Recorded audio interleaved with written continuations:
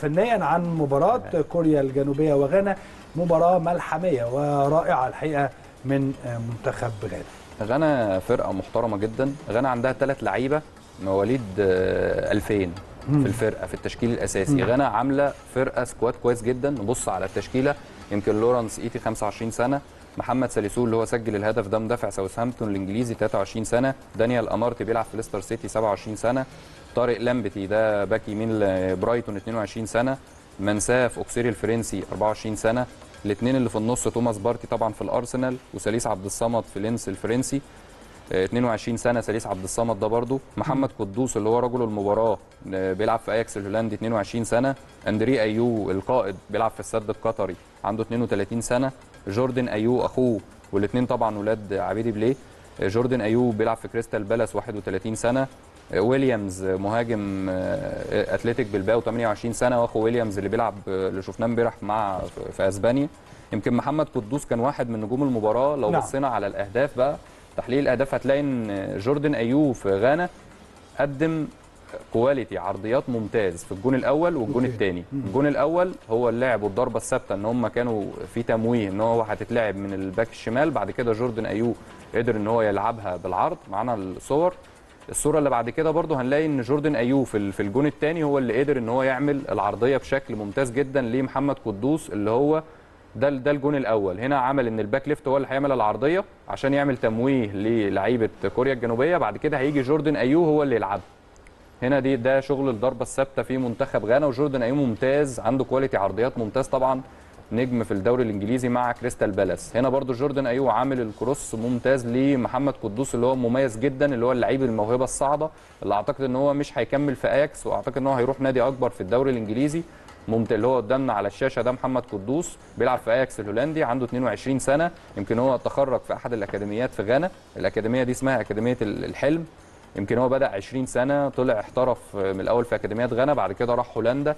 قعد في نادي صغير في هولندا من سنة 2018 ل 2020 بقى قعد معاهم بعد كده وقع على اياكس الهولندي. دي أرقامه؟ آه النهارده طبعا هو رجل المباراة سجل هدفين في 87 دقيقة عمل محاولتين على المرمى الاثنين جول. يعني المحاولتين جابهم أجوان. التمريرات الصحيحة 18 من 20 وكمان لعيب مهاري عامل ست مراوغات ناجحة من 8 فمحمد قدوس ده لو بصينا على منتخب غانا منتخب غانا والمغرب الاثنين يخوفوا في كأس الأمم الأفريقية الجاية. الاثنين صاعدين والكيرف بتاعهم عالي. غانا معدل الأعمار اللي عندهم. تتكلم في 22 سنة 22 سنة ما كلهم أغلبهم مواليد 2000 ما عدا أندريا أيو يمكن الكبير بس. 32 هو وأخوه 31 جوردن ايوب منتخب غانا يخوف في كأس الأمم الأفريقية الجاية. عندهم تشكيلة كويسة وهم موجودين في قائمة ال- الأكثر تسجيل للأهداف بعد جولتين في المونديال. يعني هم هجوميا كويسين لكن على مستوى الدفاع بيدخل فيهم أهداف كتير. دخل فيهم ثلاثة في مباراة البرتغال والنهاردة برضو دخل فيهم هدفين يعني خمس أهداف في ماتشين. عندهم مشاكل دفاعية بس. محمد المنتخب الكوري لم يكن أحد يتوقع أن يظهر بهذا المستوى الغير جيد يمكن قبل بداية البطولة ولما شفنا المجموعات قلنا إن ممكن كوريا الجنوبية تبقى هي نعم. اللي صاعدة بجانب طبعا البرتغال خاصة إن كوريا الجنوبية بتملك طبعا هيونج مين سون مهاجم توتنهام هوتسبير وطبعا نجم يعني آه، فريق طبعا توتنهام ونجم الدوري الإنجليزي وهداف ال Premier League السنة اللي فاتت مناصفة مع محمد صلاح. لو بصيت على كوريا الجنوبيه كابتن ال- المشكلة كلها بالنسبة لها إن هي في المباراة الأولى قدام أوروجواي ما قدرتش إنها تترجم أي فرصة لهدف. صحيح. ويمكن ال- التعادل ده أثر عليها بشكل كبير جدا خاصة إنها لعبت النهارده المنتخب طبعا ال يعني ال- طبعا الغاني منتخب الغاني النهارده كان مركز بشكل كبير قوي. منتخب غانا يمكن الناس بتتساءل هل هو ده اللي كان موجود في التصفيات؟ هل ده اللي كان في التصفيات ظاهر بشكل مستوى سيء والناس كلها هجمت طبعا المنتخب الغاني وقالوا إن منتخب غانا مش منتخب مميز ولكن في بداية كأس العالم ظهر بشكل محترم قدام البرتغال وكان قريب إن هو يتعادل وكان في كرة في آخر لقطة طبعا من اللقاء ويعني كريستيانو رونالدو شفنا الغضب اللي كان عليه بشكل كبير جدا وكان قلقان إن الكرة دي ممكن تتسجل هدف للتعادل. لكن المنتخب الغاني يمكن أنا عايز أتكلم فيه على اثنين لعيبة. أول لعيب زي محمد قدوس. محمد قدوس لاعب أياكس يمكن السنة دي 12 هدف مع فريق أياكس أمستردام منهم أربعة في دوري أبطال أوروبا. راجل مسجل في رينجرز هدفين. مسجل في ليفربول هدف وفي نابولي هدف. راجل على رادار طبعا فريق زي ليفربول. أعتقد إن هو ممكن السنة الجاية ليفربول تخلص في محمد قدوس لأن ليفربول محتاجة لعيب في المركز ده. راجل بيلعب في الجناح. آه راجل بيلعب في الجناح وبيدخل كمان في حتة العمق بشكل كويس قوي. يقدر يجيدها مع طبعا فرقة محمد صلاح اللي يقدر يعني يعوض بقى في غيابات بقى ساديو ماني وإحنا شايفين المنتخب طبعا يعني بيتأثر بشكل كبير جدا. دي إحصائيات المباراة. يمكن غانا طبعا 3 2 الفرص أو الأهداف ستة طبعا منهم ثلاثة على المرمى آه، ستة وهنا 10 طبعا الأهداف المتوقعة 1 و29 من طبعا 100 وهنا 2 نسبة الاستحواذ 37% كوريا الجنوبية س- 63% بس يا كابتن استحواذ سلبي.